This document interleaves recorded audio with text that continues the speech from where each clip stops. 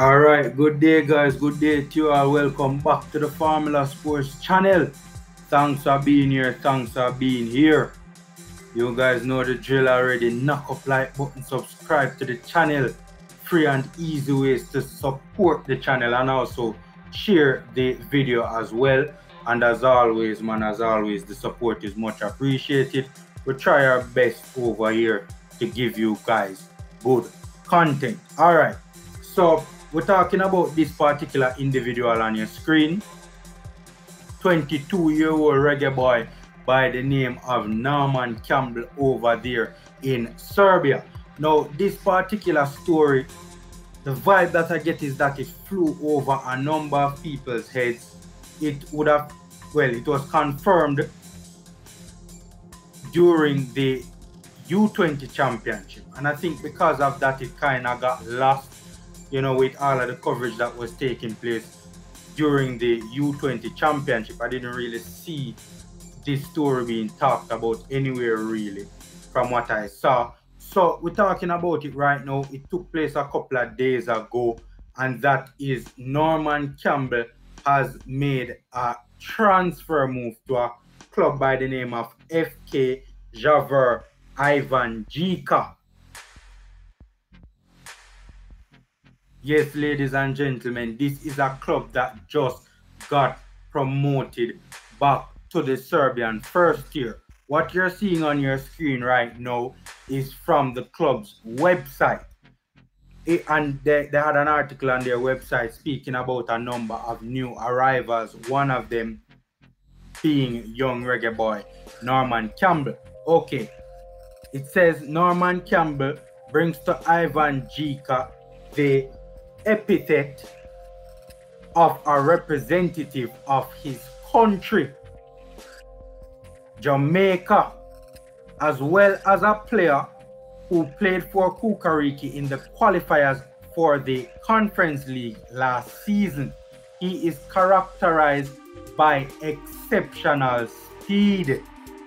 So he will represent a significant reinforcement in the wing positions the Jamaican winger signed a contract with Javor until 2025. Now, ladies and gentlemen, this particular transfer caught me a bit off guard. Um, Norman Campbell was at Čukarički last season, and that was a contract that would have run from 2021 to 2024. He has only been there one season, and it was kind of a bit surprising to see him leave so quickly. Um, it seems to, from what is being reported, it's a free transfer. So if it's a free transfer, common sense tells us that the agreement between him and Čukarički must have been terminated. More than well, obviously by mutual consent, right? That is just what this situation, given the facts that we know, is implying. So it's a little bit surprising that his contractual arrangement at Čukarički came to an end. It's a free transfer to FK Javor Ivanjica from what is being reported by credible sources, and he will be, he, he has signed a contract until 2025. Um, this particular club is based in the city. Well, it's not a city really; it's a town of Ivanjica in Serbia, a relatively small town over there in Serbia. You're seeing the pictures on your screen right now. Nice looking town, small looking town over there in Serbia. And the club plays in a very small stadium, a stadium by the name of the Stadion Kraj Moravica. So it's a 3,000 seater stadium, ladies and gentlemen. A very small stadium in a very small town. And the pictures of this stadium is on your screen. If you guys are looking on your screen, I am showing the pictures of the stadium on your screen. It's not really a stadium though. You wouldn't call it a stadium. It's more of a park I don't think this is big enough to be classified as a stadium, right? This particular club has only ever won one title, and it is the Serbian second division. They won it over a decade ago. Right?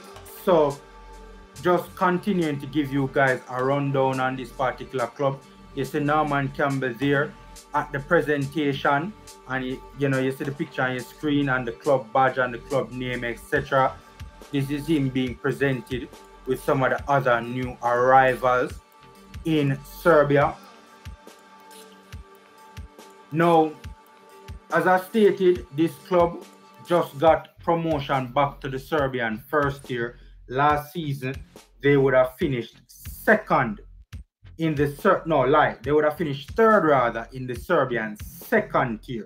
So they were in the second tier for a season last season, and they came third and won the playoffs and got promoted back to the Serbian first tier. So the 2021 2022 season, they finished third in the second tier, won the playoffs, got promoted. The 2020 2021 season, they finished 16th in the Serbian first tier, which have which would have gotten them relegated, right? They finished 13th in the 2019-2020 season, and that was in the Serbian first tier as well and that was their first season back from the second tier, which they were in the season before in the 2018-2019 season.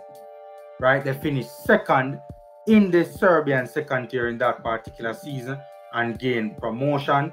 2017-2018, they were in the Serbian first tier, finished 14th.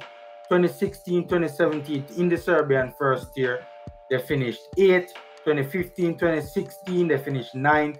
2014, 2015, second in the Serbian second tier. And 2013, 2014, they finished 15th. And 2012, 2013, they finished 10th. Both those two years were in the Serbian first tier. So in the last 10 seasons, three of those seasons were played in the Serbian second tier. It's a club that they don't stay too long in the second tier. Whenever they get relegated, they usually make a speedy return, judging by the history. So they don't spend long in the second tier. And it's a club that is not as prolific as the club that he's coming from. Norman Campbell was at Čukarički, and Čukarički usually usually placed in the top three. Most of the times in the last number of years, Čukarički has finished third. Third seems to be their ceiling, but nonetheless, it's a top three finish. So, not a club as prolific as the club that he is coming from. This for me would be a very good move if he does get a lot of game time. I think that could be a, a factor here I mean, he didn't really get a lot of game time for one of the top clubs in, in Serbia last season, right? He would have played nine games out of 30 possible games in the Serbian regular season in the championship round because this is one of those leagues where you have a championship round to decide the winner. In the championship round, he played four out of seven games. So overall in the Serbian league, he played 13 games out of 37 in the UEFA Conference League qualifiers that Čukarički was involved in in the earlier stages of last season. He played four out of all four games, so he was heavily involved in that. And of the one game that Čukarički played in the cup, Norman Campbell did not feature. Overall, he would have played 17 games in 41 42 rather 42 possible 42 games that Čukarički would have played in official competition he only would have featured in 17 of those games so that's not bad but that's not great either he only made three starts in the Serbian league out of all the 30 odd games that would have been played in the Serbian league. So, you know, clearly this is a player that would have needed game time. Um, as I said earlier in the video, I was a little bit surprised because he's a young player. So I thought that gradually, as the seasons go by in Čukarički, he would feature more and more and more. There were also unconfirmed reports that this particular player had injuries. As I said, you know, had a couple of injuries last season that would have ruled him out for some games. As I said, that is unconfirmed reports right? So take that with a grain of salt, so to speak. But yeah, I'm a little bit surprised given he's a young player, his first season in the Serbian first year. I didn't expect it to end so abruptly at Čukarički. I thought he did enough to deserve another season. But, you know, I don't know if Čukarički wanted to move him on or he would have approached them and said, Look, it's not really working out. You guys are one of the top clubs, and I'm not getting a lot of game time, so I need to make a move. Either ways, you know, surprisingly, he's out of there and he has made his move to this recently promoted club. I will say this much though. In the championship round, which is obviously big games, last season for Čukarički, he featured in four out of the seven games in the championship round, in the in the championship playoffs, so to speak. That's a lot of games to feature in, four out of seven. And in the UEFA Conference League qualifiers, he featured in four out of four games. So all four games Čukarički played in the Conference League qualifiers. He featured in all four of them. And I remember doing watch alongs to two of those games against Hammarby, the first leg and the second leg that they got knocked out in, he made substitute appearances in both those games. And to be honest, he played he played well, especially in the second leg when he got a lot of games. I think if memory serves right, he came on relatively early in the second half, like 60 or 70 odd minutes off the top of my head. He got a good run out though, like close to like half an hour, right? And he in injected a lot of energy and a lot of pace and he was a very good outlet down the right flank in that particular game against Hammarby and did very well in the game. So judging by the fact that he featured heavily in the more important stages of Čukarički's season last season, it's a bit surprising that he didn't get more game time in the regular season. He only featured nine times out of 30 games in the regular season and from the performances that I saw of Norman Campbell in last in last season in Serbia, he looked he looked okay to me, relatively speaking to the amount of game time that he got. He didn't get a lot of game time. A lot of them were late substitute appearances, 10, 15 minute runouts.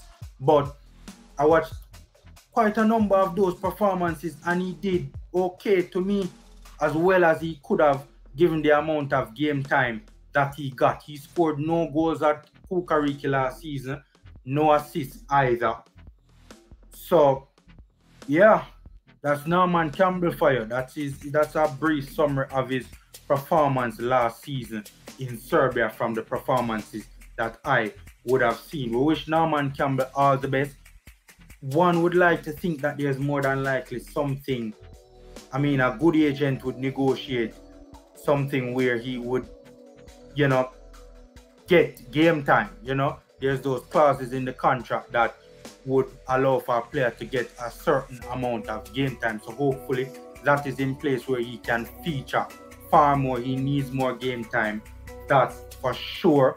And hopefully we'll see a lot of him at this new club that he has gone to and hopefully the player does well. He has a good agent, you know, Kevin Cohen from International Dimension. Very good agent with a proven track record, so he definitely knows what he is doing. So, guys, that's my two cents on Norman Campbell's recent move to FK Javor, Ivanjica. Take care, guys. Stay safe. Smash like button and until next time.